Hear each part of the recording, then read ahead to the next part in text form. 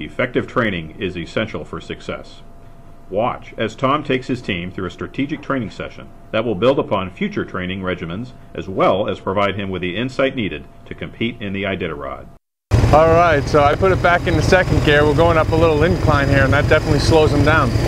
Right now what we're really trying to do is build lots of muscle.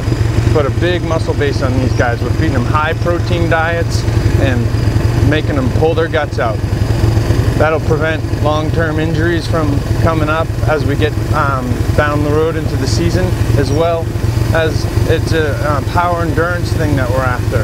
You know, when you run in a race and you go 300 miles into it, and you got to climb up and over a mountain pass at the end, the dog team that has the most power wins, and that's what we train for, hopefully to win. About to go up another little hill here. I got a uh, crazy friend of mine who actually likes to run these roads. His name's Russ Garrity.